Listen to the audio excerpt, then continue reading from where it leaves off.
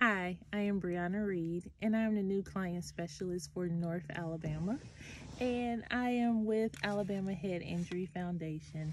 And Brain Injury Awareness Month is now more important to me than it has been um, because I have to ensure that I'm protecting the head of my little one. And so by doing so, I have done extensive research in making sure that she is secured at all times while in our vehicle. And so that means that I have researched and researched ways to make sure that she is safety buckled in appropriately.